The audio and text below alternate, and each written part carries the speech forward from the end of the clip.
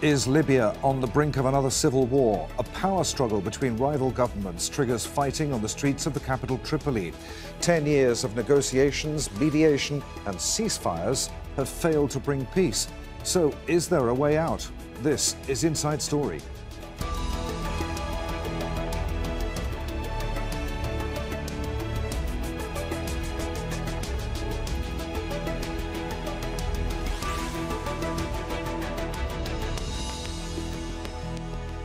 Hello, welcome to the programme. I'm Adrian Finighan. After two years of relative peace, fighting has returned to the Libyan capital.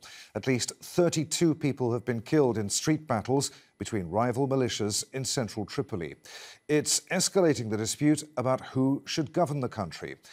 The militias are divided between those who support the UN recognized government in Tripoli and those who back a rival parliament based in the eastern city of Tobruk. For months, the Eastern administration's prime minister has tried to enter the capital and impose his authority. The UN and the US have appealed for calm, but many Libyans say the international community has failed to secure peace more than 10 years after Muammar Gaddafi was removed from power. Al Jazeera's Malik Traina reports now from Tripoli. Calm has returned to the capital, Tripoli, after nearly 24 hours of intense and sporadic fighting across the city. Uh, skirmishes began on one, at 1.30 a.m. local time on, in, on Saturday, uh, and that quickly escalated into a wider uh, conflict between rival armed groups, those affiliated with uh, the internationally recognized Prime Minister Abdelhamid Dbeibeh, and others who are affiliated with the parallel government. These clashes uh, took place in densely populated areas uh, health officials tell us that 32 people have been killed and over 150 injured. Now, both governments are placing blame on each other, but people here are extremely frustrated and angry at both governments. Uh, they want they want these politicians to settle their differences on the negotiating table and not with bullets and artillery in densely populated areas. 2.8 million Libyans registered to vote in the elections that were supposed to take place in, Dece in December 2021. So there's a huge appetite. Libyans want an end to the political differences, an end to both governments, uh, and they want to vote who they believe can move the country forward and stabilize the country. Malik Traina for Inside Story. Well, stabilizing Libya is important for the West for several reasons. It has Africa's largest oil reserves, and control of the sector has contributed to the fighting. Major European oil companies have been active there for decades, but the conflict has hampered their operations. Libya has become a popular departure point for undocumented migrants and refugees, and as a result, human trafficking. Last year, 32,000 asylum seekers crossed the Mediterranean to Europe, more than twice as many as in 2020. Libya is also awash with weapons. Although an ISIL linked armed group has been defeated, attacks remain a concern.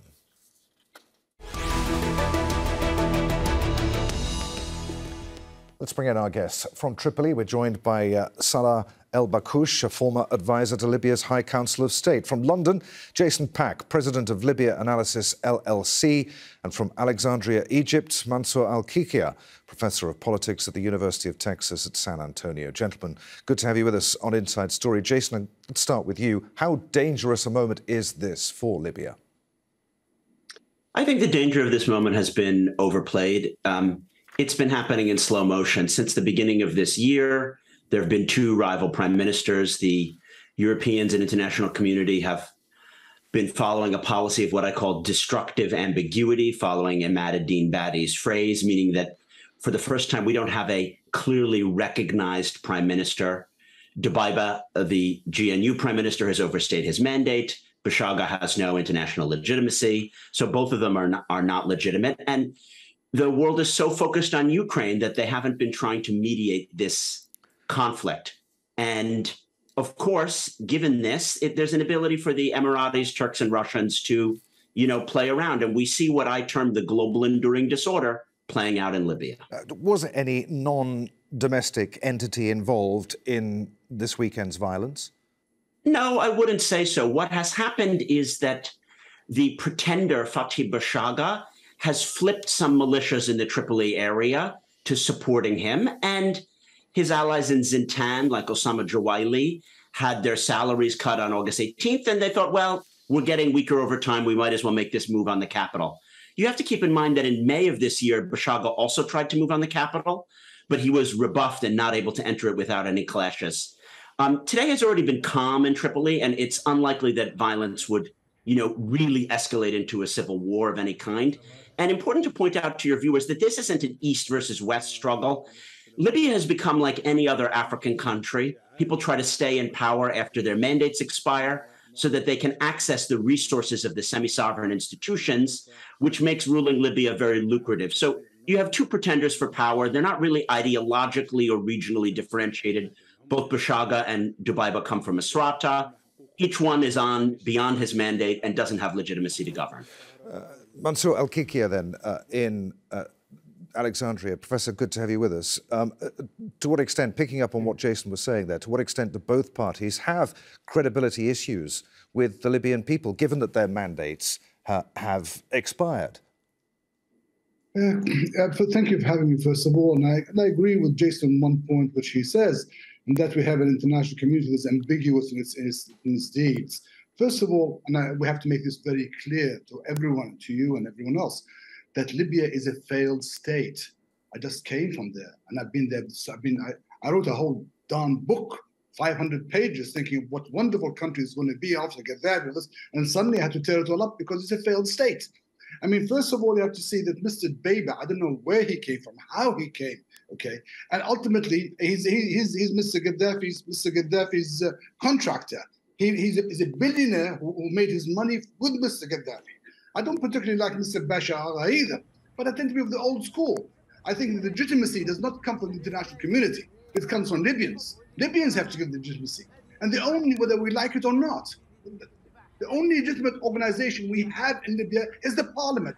However bad it is, it's legitimate. It was the last elected body. Not Bashara, not not uh, uh what's her, uh, not Sarraj, no one else.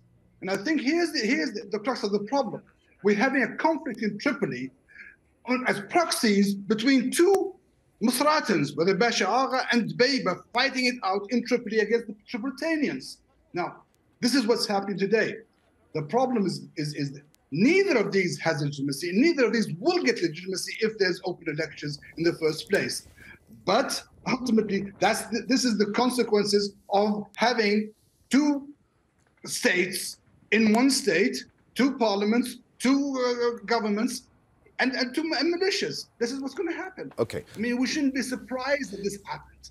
Salah, this is normal. Salah El, El Bakkoush in, in, Tripoli, then, uh, what do you make of, of what you just heard? To what extent could the situation be boiled down to two illegitimate prime ministers normally appointed to deliver elections which they failed to bring about and instead are intent on starting a war to ensure that they can hold high office unchallenged. I mean, is that a fair assessment or way off the mark? Look, uh, first of all, I, don't understand the, meaning of two illegitimate prime ministers. I mean, they are illegitimate if you're going to say that they were, not elected. But Dubaiba, with all his uh, uh problems, he was selected by uh, uh, a UN sponsored process that says that he will stay uh, on until elections are held. And he's recognized by the international community. Uh, his government holds the seats in the United Nations, in the Arab League, and in the African Union, and so on. So, uh, so saying that the two uh, uh, bodies are uh, illegitimate, or the two prime ministers are legitimate, is, is really besides the point, and I don't think it stands uh, any uh, examination. But I don't want to press that. Here is the situation. The situation is that we have the House of Representatives in the East, and the majority of that House is from the West. So it's not a struggle between East and West, as some uh, Jason has suggested. That House has been in place for eight years. Its mandate was 18 months. It's still there we have in the West the High Council of State, which which uh, uh, been in power for 10 years, and they both are responsible for elections. They don't want to get out, and they are now trying to give us uh, uh, a, a transitional government number nine in 11 years. And that's what the problem is. What Libyans need, we know that elections are not a, a magic wand, but we've tried everything. Over the last 11 years, we produced 11 governments. These two bodies that exist now, the uh, House of Representatives in the East and the High Council of State in the West, have been responsible for a transitional government. I, I, I, I, I can remind everybody that in 2015, we reached an agreement in Skhirat for a transitional government called GNU, Government of National, uh, GNA, Government of National Accord. It was supposed to lead to elections. In 2016, the House of Representatives in the East created a parallel government and killed elections. In 2021, we reached a, a UN sponsored agreement in Geneva and we created a unity government called the Government of National okay. Unity to hold elections. In 2022, the, the House of Representatives in the East created uh, uh, the new Bashar government parallel government and kill the elections. Right. So right now, the only solution out of this uh, mess is elections that will take away the House of Representatives, the High Council of State, Dbeiba's government, Bashar's government, and the high, uh, the presidential council, and give us a fresh chance with a fresh mandate. All right, Jason Pack, what do you make of, of what you heard there? Do any of the political actors in Libya actually care about what the people of Libya want? Does that even factor into their actions? Does, does either one of uh, the, the prime ministers at the moment actually want an election? Well, that's a great point. Neither of them do. And uh, Professor El Kikhia and Mr. Bakkoush have made key points, which is that this isn't a struggle between East and West. It's a struggle between status quo actors who want to stay in power or keep their cronies in power of the central bank or ODAC, the Office of Development of Administrative Centers, where you can skim billions off the top. And the HOR on, in the East has, you know, long past its mandate. I think that the Libyan people's wishes have been ignored, and Mr. Bakkoush's point that we need elections is key. But he's stressing, to my mind, too much the legitimacy of the Dbeiba government and the existing institutions elections are needed. He's right, but that's to wipe away the old. All the old has no sovereignty. It's past its mandate. Skhirat is no longer legally binding. And I think the key thing is to put this in larger context for your viewers. We're living in a world of global enduring disorder. This is a world in which major nation states can't coordinate with each other. Russia, China, and the US don't coordinate together on climate change and the Arctic because they're fighting in Ukraine and Taiwan and Therefore, they can't get together to work together to find a solution and incentivize Libyans to get their act together. In fact, they meddle and make it more difficult for the various Libyan parties. Turkey is playing a useful mediating role, but they're happy with either prime minister. The Emiratis have flipped sides multiple times. And we need an international community which speaks with one voice to incentivize these Libyan elections and denies sovereignty to anyone who stays on beyond its mandate. Otherwise, we're going to have what we've had for the last 11 years, which is as soon as anyone gets into power, he holds his chair for dear life and uh, never wants to depart his chair because that's where he gains the ability to corrupt money and to put his cronies in charge of various institutions. All right, we'll come back to, to international uh, reaction in just a moment, but I, I, want to pick up on, on what you were saying at the beginning of that answer there. Professor El, Kikhia, um, would either side be prepared to accept a government led by someone who has no ties to the Government of National Unity or the Tobruk Parliament. Um, uh, does that person even exist? And, and, is that actually what the people of Libya want? See, I, I, think I think this point is wonderful. What you say is, as Jason said, is, is right to the point. The problem is here: we Gaddafi is gone, but Gaddafism is still in Libya. Gaddafi spent 40 years hammering out a sense of nationalism in Libyans. They don't. They, they, there's. I mean, you'll be surprised to see that there's no sentiment that they're Libyans, that they that they owe this land something, that they care about it. They don't. What they care about most is filling their pockets one way or another. And more important, they don't care about legitimacy of anyone else. I mean, just coming to Benghazi right now, it's it's I was, I was flabbergasted with, with the signs of Carlos, with, with the, the drug dealers of, of, Latin America, the drugs being sold in the streets. There are laws, but there's nobody to enforce them. The problem here is really so so serious. It's so serious that that there is no sense that I that I belong to this land. That I owe. I mean, the whole idea of not asking what your country does for you, but what you can do for your country is not is not there. The issue is very is, is very serious. There is no sense of Libyanism anymore, not among Libyans at least. So I really don't care about the international community anymore. I don't care what they whether they say legitimate or not legitimate because they got us this mess in the first place. Read Miss Miss Williams, Miss Stephanie Williams' uh, departing statement, and, and it's very clear about what the government is doing right now and what they and what they aspire to. They don't care. As simple as that. If they cared, they wouldn't be there in the first place. They would they would agree on somebody who's neutral, who at least tries to tries to put things together. What we're going right now is direct towards division. And I'm sorry to say to my friend Mr. Bakkoush, I really do. I like the guy. He's my friend, he's, he's my brother. But we have two states. We have two governments. We have two parliaments. We have two entities. Very, very different. Right now, thanks to this 11 years that we've had and the 40 years of Mr. Gaddafi before that. Okay, and of course, you have all of the, the various armed militias in, in the country as well. Mr. El Bakkoush, exactly, how, exactly, how can democracy exactly. take hold when you have these armed militias in control of large parts of the country? Well, these armed militias are a problem indeed. But this is a symptom and it's not the cause of the problem. The cause of the problem is that we have no constitution, we have no elections, we have no elected government, and that's why right now you can't talk to the Russians and tell them that, for example, get out of the country because he'll tell you, no, the other government wants me in. And the, uh, and the militias say, well, you're not elected. Uh, Haftar tells every government since 2011 that I will not submit to any government that's not elected. So here's, here, here's the issue. We need to stabilize the political situation so we can deal with the, with, with, with the problem and, but, uh, but and how, the big problem how, how, of militias. But how, sir, how, how, sir, do you do that?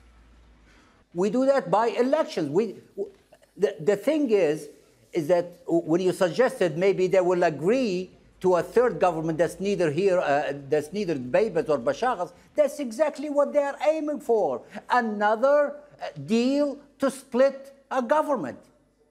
And that's what they did for, for, the 10 times before. And it didn't get us anywhere. After a year or a year and a couple of months, they, were, uh, they are back at each other's, other's throat and they want another power sharing deal. We're done with that. We need all these bodies that prove beyond doubt that they are incapable, they are incompetent, and they are corrupt we need, we need them to go and have a fresh chance of doing something else so we can finish the Constitution. For God's sake, we've been working on it for 11 years, and it was supposed to be in the Constitutional Declaration, it's supposed to be finished within 120 days of one, uh, 2014. So, so here's the situation. We have to deal. We have to deal with the political situation. Get an elected uh, uh, constituent assembly and deal with all these problems, and we can talk with one voice that nobody can challenge its legitimacy. Uh, Jason, um, a, a, slightly naive question perhaps here, but, but speaking with one voice as, as one country, I mean, does Libya have a future as one single country, given at the moment that it's, it's governed by two separate entities and is roughly split, split into east and west? I think Libya is a country. Um, the oil infrastructure crisscrosses east and west. Water from the southeast in Kufra is used to, uh, you know, give the people of Tripoli drinking water, and the ports and subsidy systems are connected.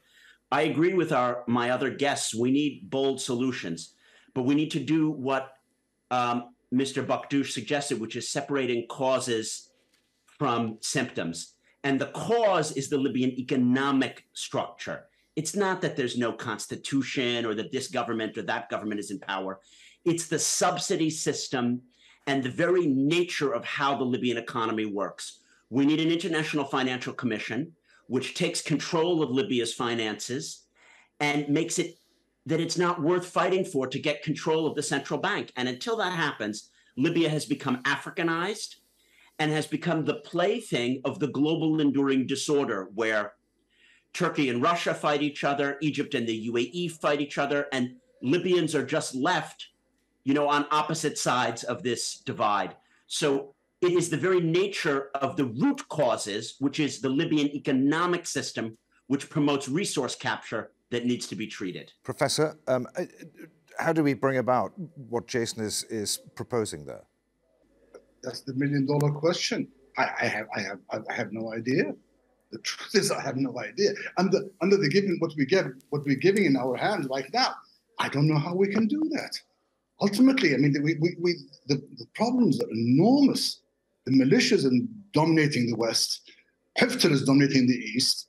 The the the the, the people don't work. There's no, they just don't work. I mean, yes, the economic, you're right, the economics, but whatever oil they're getting out, they're spending it on salaries. There's no, the infrastructure is dilapidated. I mean, this whole idea, where has the money been going, has money gone for the last 40 years? I have no idea. The roads are not working there. They're, it's just not working. Factories are all gone.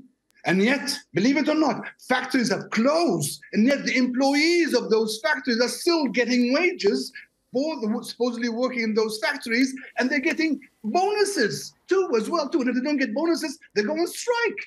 I mean, this is this is this is the dilemma we have right in front of us. Yes, I agree, it's an economic problem. I have no doubt about that. But the country is not working any other way. It's becoming not only it's worse than a rentier state. Not only getting oil, but they're doing nothing with that oil, except for salaries. They're eating it and they're throwing it away. No more. Salah I have no idea how uh, all right. solved. Salah El, El Bakkoush, how, how, do we how do we get away from the, this present moment of danger, then, and, and how do we bring about what Jason was was describing uh, for us there, uh, some sort of long-term fix here? Is it possible to do? Well, I, I, I know. As I understand it, Jason is suggesting that an international uh, mechanism for managing uh, uh, Libya's resources, but I think that's that's probably akin to Mr. Trump suggesting that we drink bleach to get rid of uh, corona. Uh, it's not possible. So, so I think the international community succeeded in 2021 to tell the uh, House of Representatives and the High Council of State that they have no monopoly on the political process and brought 13 of the House of Representatives and 13 of the House, uh, the High Council of State, into the Libyan political dialogue, which had 75 people. And they managed to get a unified government. Mr. Kubiš dropped the ball later on, and uh, here we are. Mm. So I think we can go back to the same process and finish it by elections that 2.8 million people registered for it, like your report suggested. There's no other way out of it we can't continue with these bodies that gave us all these transitional governments, and we are still in the same place, but maybe worse than we were uh, five or 10 years ago. Jason, I've got a minute left on the program. We'll give the, the last word to you. What, what, do you. what do you make of, of what you just heard there? Thank you. I don't think elections are the solution. It's not about nationalizing or internationalizing Libya's finances, but changing the rules of the game making things transparent, having an international financial commission which oversees Libya's finances, and that unifies the previously divisive international actors. Russians, Turks, Emiratis all need to get their back payments paid, as do the Italians and French and Americans. We need to adjudicate all of the corruption and pay some contracts 10 cents on the dollar and other 80 cents on the dollar. This can be solved. There are win win solutions there. The UN is moribund. It's going to need to have a okay. fit for purpose vehicle, yeah. probably led by the EU, the US, with our allies okay. like Turkey and the Emirates. Gentlemen. Um, this is low hanging fruit. Yeah. And we can do this if we rally the kind of resolve that has been shown in Ukraine. Gentlemen, we're out of time. Many thanks indeed for being with us. Salah Al Bakkoush uh, Jason Pack, and uh, Professor Mansour El-Kikhia. Uh, and thank you for watching. Don't forget you can see the program again at any time just by going to the website at aljazeera.com. For further discussion on this. Join us at our Facebook page. That's at facebook.com forward slash AJ Inside Story. And you can join the conversation on Twitter. We're at, at AJ Inside Story. From me, Adrian Finighan, and the whole team here in Doha. Thanks for being with us. I'll see you again. Bye bye.